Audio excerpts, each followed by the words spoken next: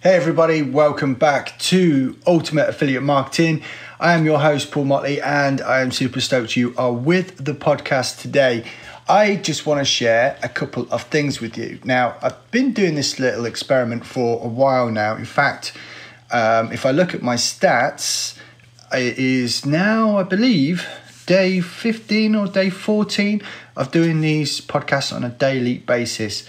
And um, so far, I've been super stoked. I'm just looking at all the numbers now that people are actually tuning in and listening. So if this is your first time, then make sure that you do subscribe to the podcast and check the show notes because normally there's a link there to get some free stuff. So what I want to do is, oh, excuse me. Right, what I want to do is talk about how you can actually get affiliate sales through YouTube. Now, YouTube, of course, you probably know this already, but it's the second largest search engine next to Google in the whole wide world. So it makes sense to have some of your content out there. Now, before you go screaming to the hills saying, oh, I don't want to go on camera, I don't want to do this, don't want to do that.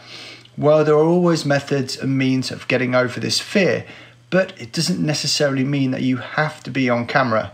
Okay, I see plenty of YouTube videos out there which absolutely kill it with just a voiceover. And ultimately, you could always get someone else to do the voiceover as well. There are other sites like Fiverr, for example, where you can go and provide a script and someone will read it for you. So you could be literally hands off. So if you don't like this, this sounds awful now, but this is going to talk to somebody out there, I know. But if you're worried about getting on camera, if you're worried about your own voice or, or stuttering or doing anything like that, I mean, just take a listen to my podcast for goodness sake. I don't get it all right all the time. Just then, um, you know, sometimes I'll cough, I'll go um, I'll go uh, and all this sort of thing. But it doesn't have to be amazingly polished because the more authentic you can be, the more people are going to buy into it and the more people are going to start trusting you because you're a real person. They can relate to you. So, right now, I just want to dive into this because obviously YouTube is such a visual thing. Doing this on a podcast sometimes can be tough. But I want you to have an end in mind. Okay, so what are you trying to achieve through using YouTube? Now, in affiliate marketing, what we want to do is we actually want people to go ahead, click through using our affiliate link, and buy a product. Okay, does that make sense? But you could also use YouTube to take people to your own landing pages get them to opt into a, an email and of course then you can send them affiliate offers later. So it doesn't have to be sales straight away. You can provide as much value or just basically uh, go for it from the off go now i have noticed a lot of people which do reasonably well with um, review videos for example.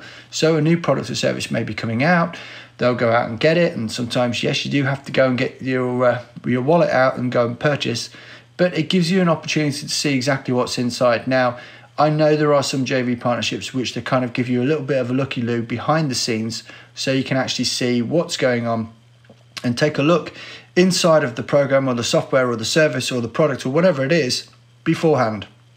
And sometimes that's great because if you're in that lucky position, then quite often you can start dominating YouTube before people are going to start looking for it because what do most people do? And I was actually guilty of this myself literally yesterday. I got sent an email based on a product. I clicked through to that product and then I went on YouTube looking for a review of the product. Okay, so any of you uh, product designers or if you've got software or product or anything out there right now, make sure you have your own review on your page because you could be losing sales by that because people are going to go off the platform go to YouTube, check out the reviews first, and then come back. So you might as well have a few impartial interviews that are on your page to start with. So let's dive in. So, what makes a video good? Well, the first part of the video is like I said, if nobody sees your video, you're not going to get any traffic. No one's actually going to take action from that video and then go ahead and click through to a site so you could get an affiliate sale. So we need to do what we call rank the video. Okay, and quite often, just like in Google, the first 10 videos, i.e., the first page, are the ones that get the most traffic. Probably about 90% of the traffic is given to those first 10. So we're not going to talk about anything specific about um, scraping views by using suggested stuff and all that sort of thing. I am just focusing on search traffic through YouTube itself. So, the best way to do this is obviously do a review of the product, but also as well, if you start typing something into YouTube, it's going to automatically tell you what the next things that people are also searching for. A little bit like if you go onto Google, you type in search term, you scroll all the way down to the bottom, and it'll say people also search for X, Y, and Z. So it's giving you a fundamental basics that you could either answer within one video or you could string a few videos out and see if you can rank for each of them. So, what makes it easier to rank on YouTube? Well, ideally, something with less competition.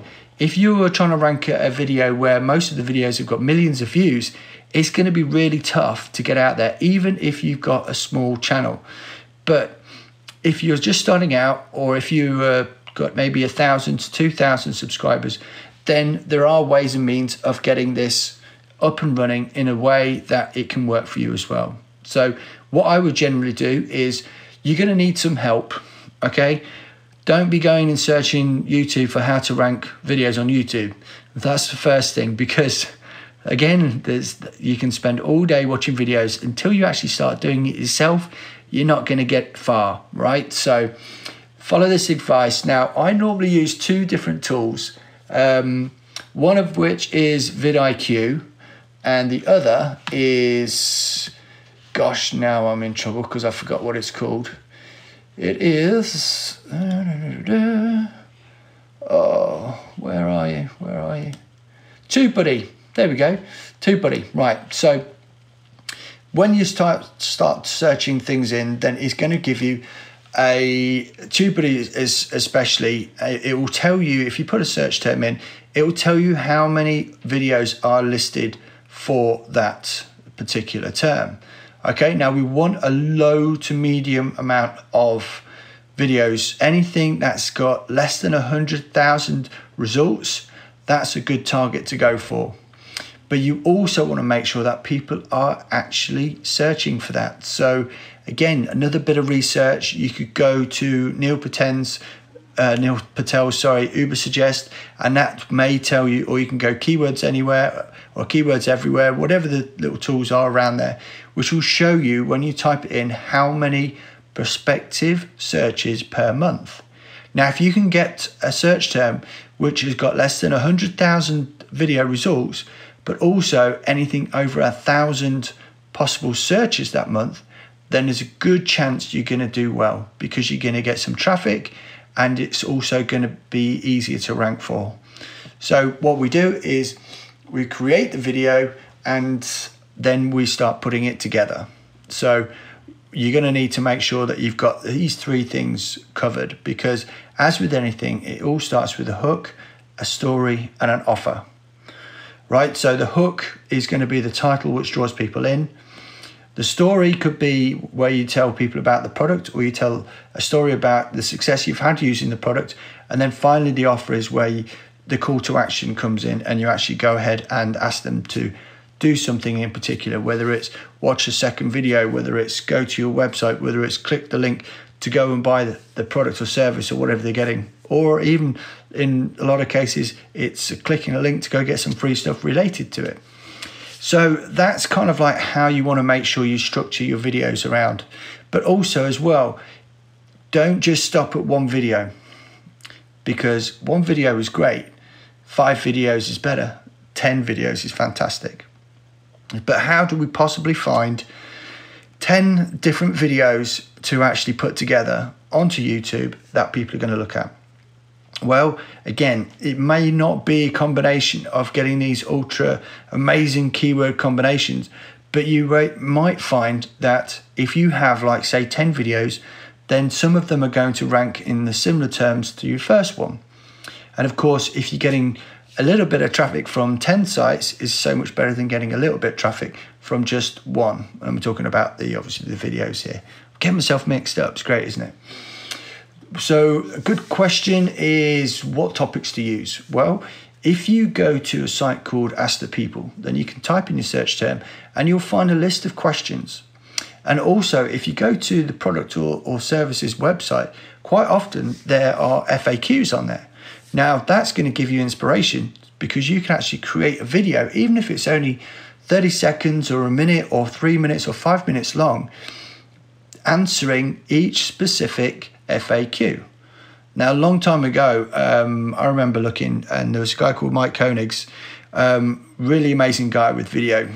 And what he did was said, right, okay, well, when it comes to videos, you want to make sure that you've got your 10 FAQs, but also your another 10 uh, SAQs. And the SAQ is should ask questions. So if you know the product or service inside and out, then you think, okay, right, well, these are the things that people are asking, but these are the 10 things that people should be asking. Okay, so now you've got perspective spread of 20 videos that you can try and get ranked. And of course, if you use the question in the title, the question in the description, and the question in the tags, then that's going to help you rank on the on to YouTube as well.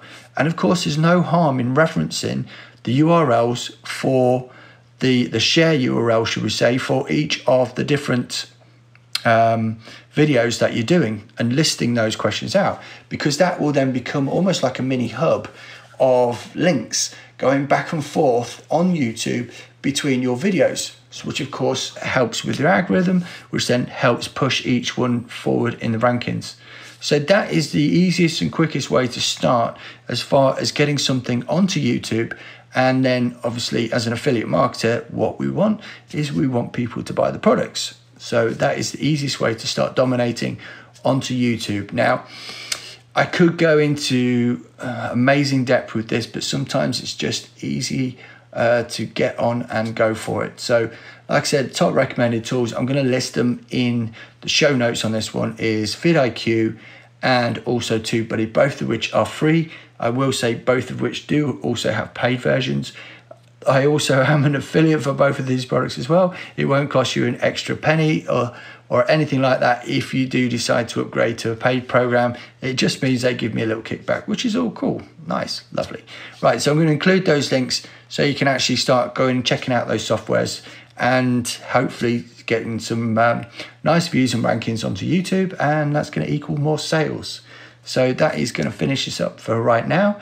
And of course, don't forget to subscribe and check the show notes for all your free stuff.